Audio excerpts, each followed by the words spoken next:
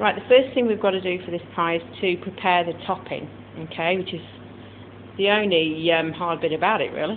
So what I've done first of all is I've diced up some bacon. Um, I've got some butter melting in the microwave, which you've probably heard bleep there in the background, so let me know I think it's done.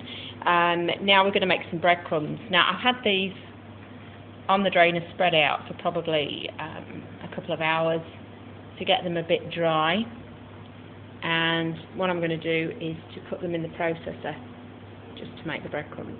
I would recommend that you use your own breadcrumbs and not buy anything out of the packet. It just doesn't taste the same in this. So, just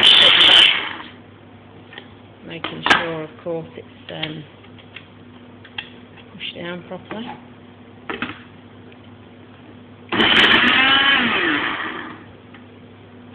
And you just have to keep going back. Probably ought to get a spoon actually. Um, bear with me.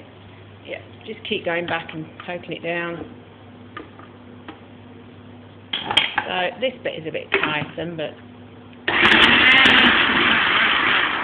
so that's done. So start filling a bowl with the breadcrumbs. So I'm not going to keep you holding on while I do all of those slices that I've got to do. Um, but yeah, that's the first stage of it. Make your breadcrumbs in the food processor. You've um, chopped your bacon up and you've got your butter in the microwave melted. Uh, you need grated cheese as well, so it's up to you whether you grate your own or you buy it already grated. Okay, I'll come back to you second.